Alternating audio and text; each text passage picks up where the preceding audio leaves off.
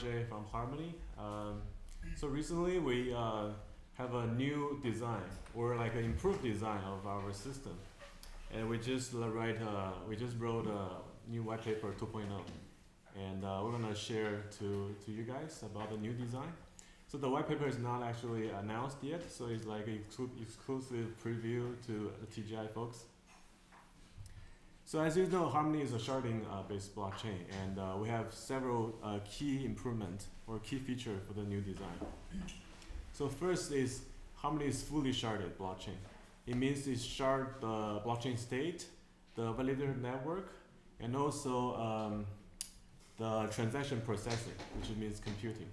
So compared to other blockchains like Zilliqa, we're, sh- we're actually sharding more than, than uh, other blockchains.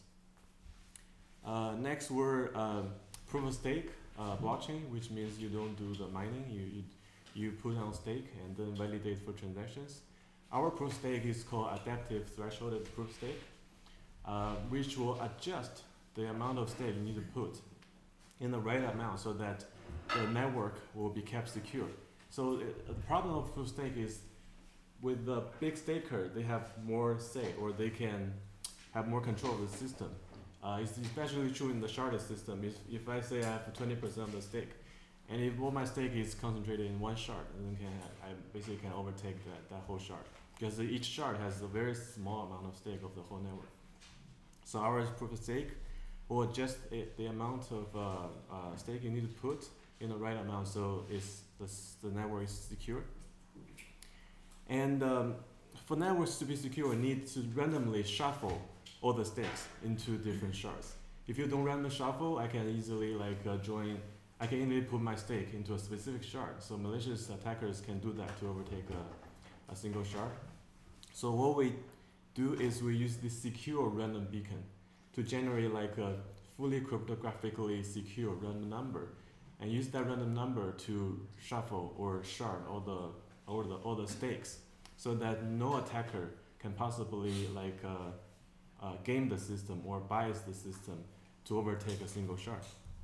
And next is we have very efficient and uh, fast consensus algorithm, which is like uh, which is uh, PBFT based uh, consensus, where all the people vote uh, for for the next block, and if there are more than uh, two thirds of people voting on the same block, the next block is confirmed.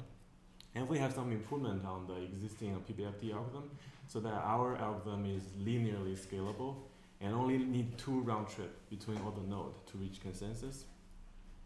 So last but not least is the we have very scalable networking infrastructure, uh, which is a core uh, strength of Harmony. So in a sharded network, all all of the shards need to communicate with each other, and there are a lot of uh, message passing between shards, which is really costly. If every message you send from one shard to another shard is a broadcast, then all the network is flooded. So have this efficient network infrastructure to reduce the network complexity of cross-shard communication from like uh, O big O n, which means flooding everyone, to uh, O log n, which means you have you find a, a like optimal path from the uh, sender to the receiver. So firstly, the proof of stake sharding, we um, you can see us first in here. This is all the stakers and their staking amount. After they stake, they get the uh, the proportional amount of voting shares. We call this voting shares. That voting share is have the price of uh, the exact uh, good amount, so that you as a validator cannot concentrate your uh, to- your token to to stake on a sing- single shard. So you can see after they get the voting share, those voting shares are randomly distributed to all the shards.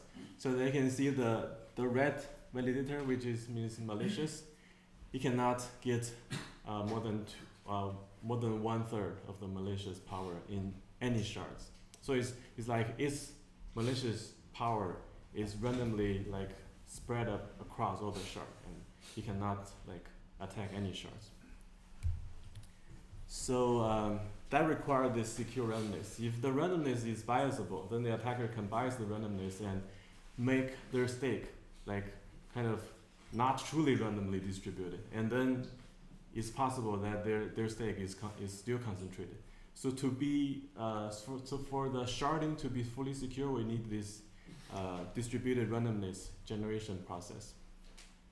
So we come up with this uh, new uh, technology to create this um, random beacon, uh, random number that's unpredictable, uh, unbiasable, verifiable, and scalable.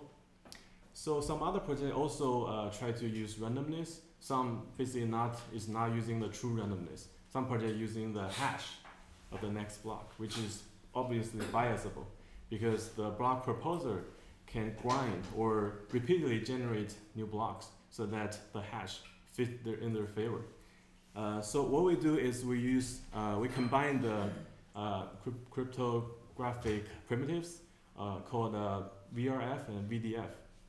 So, so for VRF, it's called a verifiable random function, which can allow a single node to generate a random, random number that's uh, unbiasable, that's provably secure.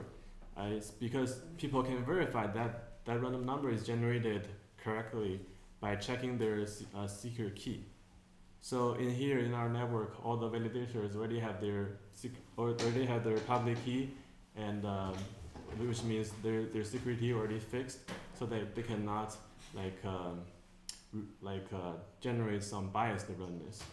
The the only randomness they can provide is the one which which is generated from the verifiable random random function. So with that is not enough. Uh, so usually the distributed random process is working like this. It's like I pull, I poll all the people for you to provide a random number for, for me. And then I group them together to generate the final random number. And this is still uh, not uh, secure because there's a kind of scenario called last revealer, revealer attack, which means malicious people uh, can wait until all the other people revealing their random number. And then that people, that attacker, can uh, bias the final result by specifically choose a specific random number that will like uh, affect the final result, right? So what, how we tackle that problem is we use the VDF uh, primitive, which is very new technology. It's called verifiable delay function. So what we use that for is uh, first we ask all the people to commit their random number into the next block so that nobody can like uh, regret their choice. The trick is the final random number is not simple aggregation of all the randomness. It's like we're gonna apply the verifiable delay function on the all the random, random number to create the final randomness. The feature of run, uh, verifiable delay function is that it take a specific amount of time, and that's provably secure, uh, provably, cryptographically provable that that function took like five minutes. So with this, we can like um, prevent the attacker to find out the true randomness before they commit their uh, their like share of randomness. It's like here, first everybody commit their uh, share of the randomness in the in the current block, and then we apply the VDF on that commitment to generate the true randomness. So you can only see the true randomness after a couple, uh, couple block, which means you can never bias the result um, before that. So you can never bias your input when you're first committing the random share. So uh, next is the consensus. Our consensus algorithm is um, linearly scalable, and we use the BLS multi-signature to aggregate the signatures together so that we can improve uh, the complexity of the traditional PBFT algorithm from O(n) square complexity to O(n) uh, complexity. So last is uh, the networking uh, infrastructure. So we use the technology uh, called Fountain code uh, based erasure coding so that we can uh, um, like encode the block um, with some like padding. And that padding will allow people to reconstruct the original block uh, with only part with only part with only uh, a portion of the encoded data so that this will uh, take care of the network uh, kind of uncertainty or network problem. When you broadcast in uh, like untrusted network, you cannot like uh, expect every message get delivered eventually, right? So with this erasure coding, we can have this um, high probability that our block will be delivered, and also with with uh, very uh, limited uh, network usage, we can achieve that. So we also use Kademlia routing to achieve the fast uh, message passing between shards. So Kademlia routing means uh, instead of broadcasting my message to everybody, uh, hoping that some node or this destination node will receive my message, I use this routing table. Uh, with that message, can find the optimal path through the P2P network to my destination. So there's uh, so it's avoiding the broadcasting overload on the whole network. So that's mostly the core features of the design, and there are more um, small features that's helping uh, Harmony to be fully secure and scalable. Um, something like uh, we use the cuckoo rule based resharding. So the sharding is just one thing, right? After sharding, you have you still have to reshuffle the node so that a single shard doesn't get corrupted uh, over time. So we need the resharding of the nodes. So the cuckoo rule based resharding will keep the shards balanced and um, it's also a non-interrupted process, which means the shard can still run consensus when it's doing resharding. Um, another feature is called fast state synchronization. So when you're doing resharding, all the nodes need to go to the other shard, right? and validate for the other shards. To be able to validate for another shard, you have to know the state or the blockchain uh, history to validate new transaction, right? So with, without any uh, optimization, it probably take days to sync up to the to the new block, to the new shard. So with this uh, fast fast state synchronization, we can achieve this uh, like synchronization within hours which is like feasible for in terms of our uh, design. Uh, another thing is uh, we call it beacon chain uh, crosslink. Uh, this thing is um, kind of um, a commonly used technology, which Ethereum, the next version of Ethereum, Ethereum 2.0, is also using. So it's like for all the shards uh, to be consistent with each other, we want to use the uh, global beacon chain to record all the hashes of the shard chain so that there is a global ground truth about which shard should have which chain.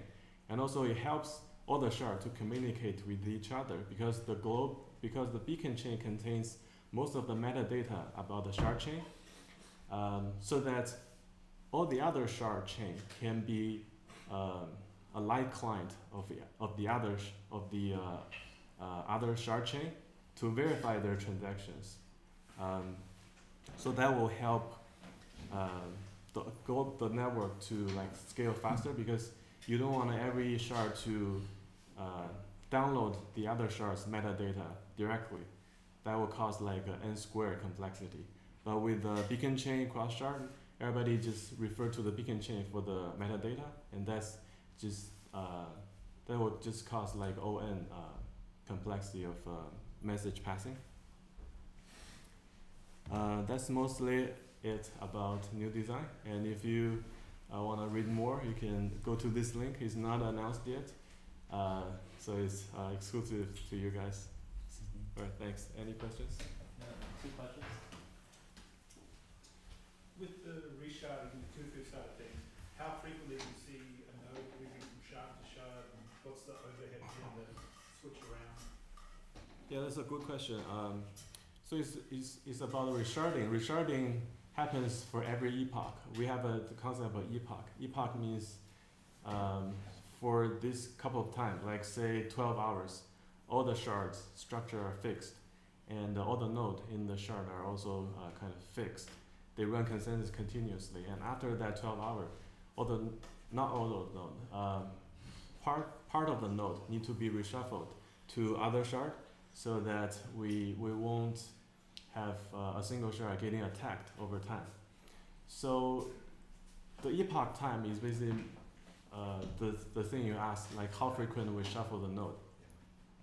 The timing should be decided by the estimation that how long we expect a sing- attacker can corrupt a single shard, right? If say they can attack a single shard within like uh, six hours, we better reshuffle the shards before six hour happens, right? So better set it three hour, four hour.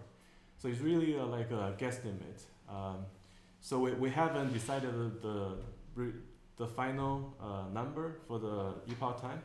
So we, we need to we need to do more research or experiment about this. But uh, that's a good question. Yeah. Um, so can you, can you go back to the, like, the previous slide where you have different verifiers, um, and you group different verifiers into, um, Oh, different okay, shards? okay. Yeah, um, so basically my understanding here is that the one validator can be the validator in different shards, right? Yeah. So for example, the, uh, orange validator can pa- has been participating in all the five shards Yeah, exactly. versus the, the, the blue one is only in the last shard. Yeah, exactly. Got it, got it. And um, um, so in the in the next few slides, there is a slide when you talk about the uh, a reshard. Um, uh, You Mhm. mentioned something the like the beacon chain, right? Mhm. So how do you set up the beacon chain? Is the beacon chain part of the main chain, or it's you know separate from the main chain and being an independent structure? Yeah, yeah, it's a, it's a good question. Um, so in our design, beacon chain is theoretically the same as the other shard chain. So when we're doing the, all the sharding, resharding, beacon chain is just part of it. Uh-huh. It's part of the shards. But beacon chain, since it has more functionalities or responsibilities, we want to make it more secure, so we can put more stake in there. So uh, for, for people to attack them, they need more stake. So so it's more secure for beacon chain. So can I understand that beacon chain is like a first party shard Yeah, yeah, that's sitting exactly. there forever? Exactly. Uh, every chain should stay there forever. I see. Yeah, but sec- uh, chain is more secure. And how do you reach the finality uh, with each of the shard? Um, like when the shard is closed, um, how do you you know make sure um, whatever is validated from the shard is Mhm. final? How do you reach that finality? Oh, uh, yeah. Since we're using the PBFT uh, consensus, Uh-huh. PBFT doesn't have fork. Right. It's not like proof work or Ethereum's proof of work. There are a lot of forks. You have to choose which fork is the like canonical version. Right. PBFT doesn't have this problem, so we have imme- immediately uh, it, finality. it. I see. And also the cross cross link to the uh, beacon chain has a further guarantee that only a s- unique version of the shard exists. I see. Okay. Okay. Alright, thanks. Michael?